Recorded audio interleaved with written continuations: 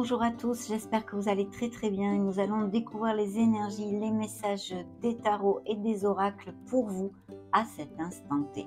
C'est parti Je vais demander une, une influence majeure hein, pour notre lecture. Découvrons ce qui veut se montrer ici.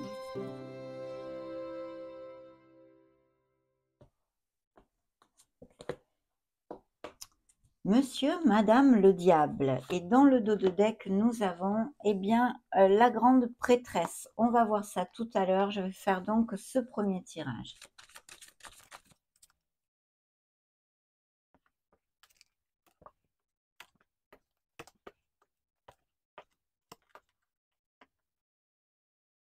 Très bien. Dans le dos de deck, eh bien, on a un as de coupe. Hein. Donc, euh, c'est vrai qu'il peut y avoir un projet qui vous tienne à cœur, que ce soit au niveau personnel. Hein. Par exemple, aller vivre à l'étranger, c'est un exemple.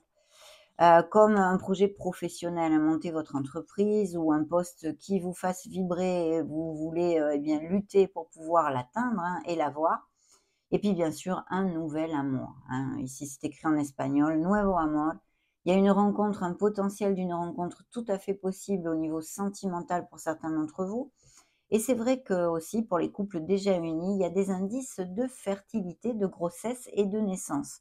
De toute façon, c'est un nouveau commencement et c'est euh, une énergie, on va dire, euh, hautement positive. Hein. Donc c'est très très chouette pour commencer notre lecture.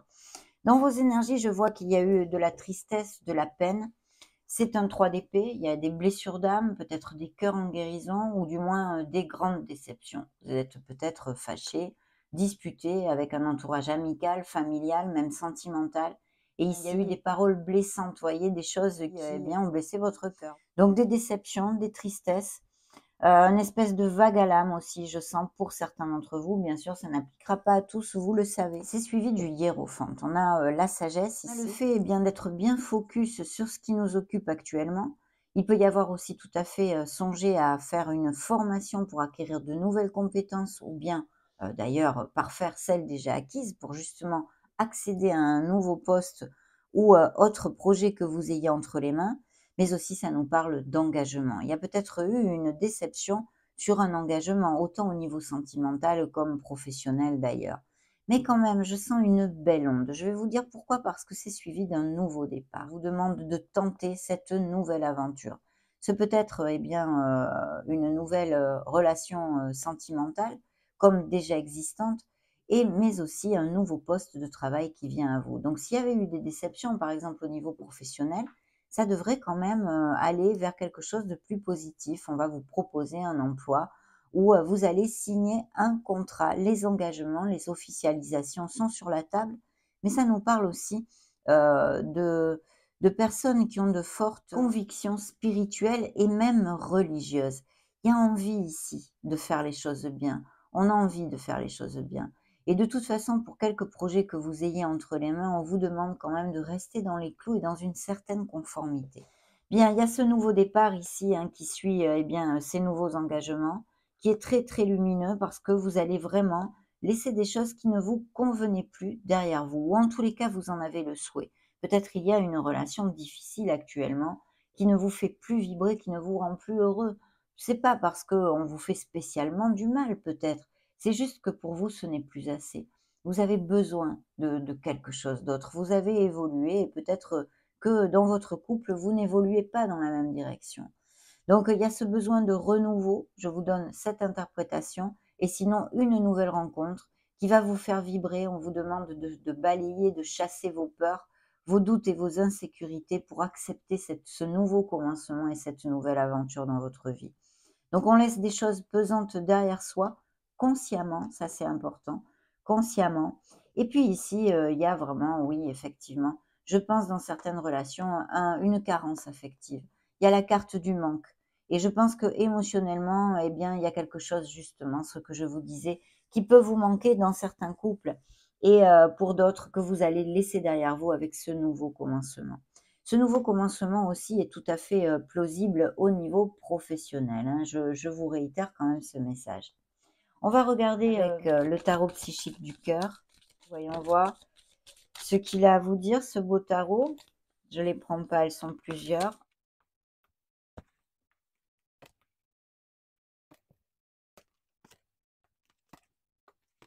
Vous voyez, dans le dos de deck, ici, on a les peurs noires. Donc, il y a une situation de difficulté que traversent certains d'entre vous, hein, qui est peut-être tout à fait en relation avec cette carte de tristesse et de peine, pour quelque raison que ce soit. Eh bien oui, il y a des nuits sans dormir, il y a des pleurs, euh, il y a une, une, situation anxiogène, en tous les cas, une situation qui vous amène de l'anxiété et qui est difficile à traverser. C'est vrai que c'est temporaire. En plus, c'est encore suivi euh, de la maîtrise de monsieur, madame le diable, qui est déjà sorti ici en énergie principale. Donc effectivement, ça peut nous parler, eh bien, par exemple, de heurts, de disputes, de tensions en général, dans votre sphère affective spécialement, comme émotionnel général et même professionnel. Le message vraiment important et direct de monsieur, madame le diable pour moi, c'est que vraiment on vous dit que vous pouvez vous libérer, que vous n'êtes pas obligé de rester, de stagner dans une situation qui vous rend malheureux, malheureuse. Vous avez le pouvoir dans vos mains de prendre une nouvelle direction qui est ici d'ailleurs pour changer vos conditions. Bien sûr, ça peut aussi nous parler d'amélioration financière pour certains d'entre vous mais euh, et aussi de relations euh, difficiles, toxiques avec des autres dominants et peut-être des relations eh bien plutôt euh, comment dire un peu éphémères ou plus basées sur les biens matériels, le, sexe, vous voyez, avant les sentiments. Hein. Ça aussi, ça pourrait appliquer à certains d'entre vous. Mais de toute façon, ici, il y a une situation anxiogène que vous allez laisser derrière vous. Bien sûr, vos actes vont être importants pour ceci. On vous dit que vous pouvez le faire parce qu'il y a quelque chose de bien plus lumineux qui vous attend. Donc ça, c'est important. Ok, je vais le mettre ici.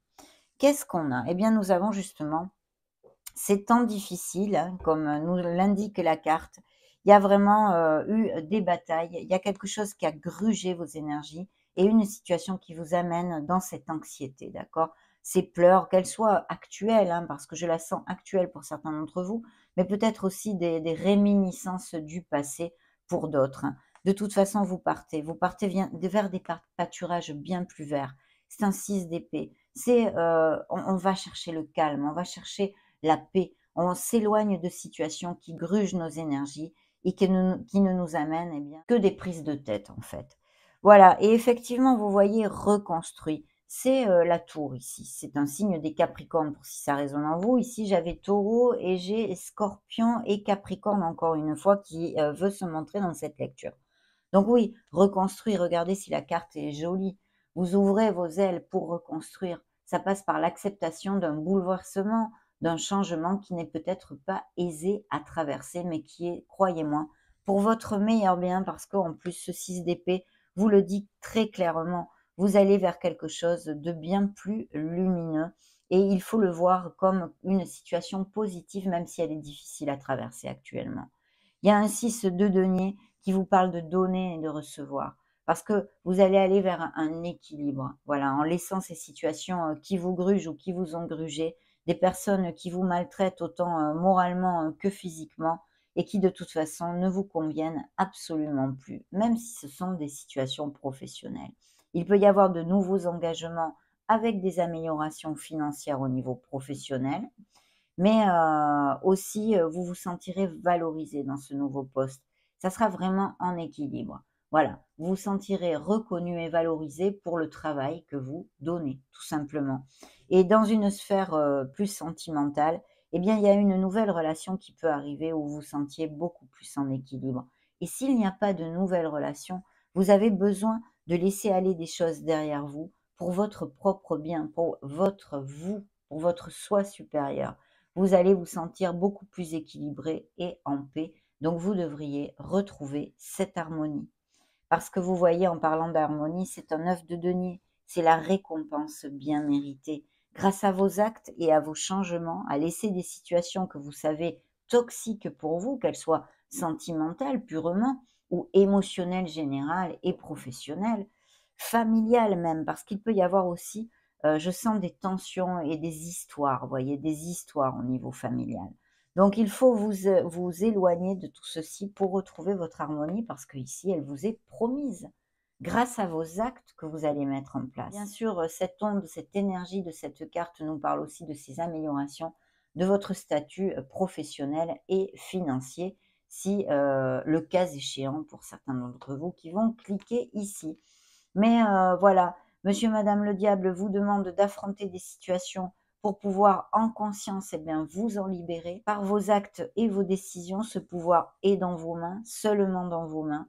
Et puis la grande prêtresse nous parle de suivre votre intuition, de vous connecter à votre essence divine, à votre sagesse, à votre maturité pour être en marche ces changements, autant au niveau personnel, professionnel, sentimental ici, euh, peu importe. Il pourrait y avoir aussi euh, une histoire d'une relation tue ou cachée, ou que vous rencontriez une personne qui soit un peu plus âgée que vous. Ce nouveau travail, ces nouveaux engagements pourrait être dans une profession qui soit en lien avec la féminité ou les femmes en général, ou que ce soit une femme qui vous propose ce nouveau poste. Donc voilà pour l'instant, on va demander un petit message à cet oracle. Les miracles du cœur, qu'ont-ils à vous dire? Hop, celle-ci veut sortir, je la retourne. Et eh bien voilà, le signe de la balance, l'équilibre, c'est euh, l'équilibre qui vient à vous, mes amis. Trouver l'équilibre dans cette situation vous amènera bonheur, harmonie et sérénité du cœur, bien sûr. Allez, je vais en piger une moi-même en coupant ces petits tas. Et eh bien voilà, la guérison justement, en parlant du cœur, le chakra du cœur aussi est ici.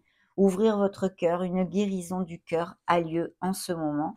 Et dans le dos de deck, j'ai une belle alchimie, il y a une belle alchimie entre vous cette nouvelle rencontre, ce nouveau commencement au niveau sentimental.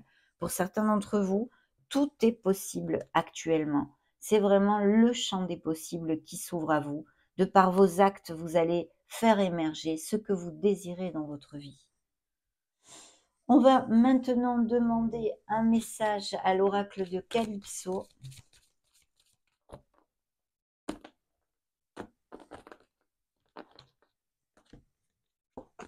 Deux messages, regardez comme vos anges sont ici et vous accompagnent, la magie de l'univers. Donc c'est une carte de protection, c'est une carte qui un peu euh, est euh, en connotation avec les messages de l'étoile, de garder la foi et l'espoir. Au-delà, il y a quelqu'un qui, euh, qui veille sur vous. Sûrement une grand-mère, me dit-on. Une grand-mère pour certains d'entre vous. Et voilà, c'est la magie de l'univers. Restez sur le chemin de votre âme et de votre vie, mes amis.